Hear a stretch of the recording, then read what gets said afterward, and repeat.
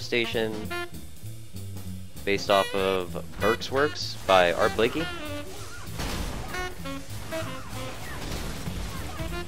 Well, it was written by Bobby Timmons, but whatever.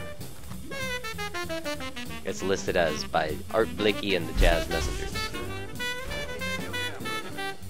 Oh, hi!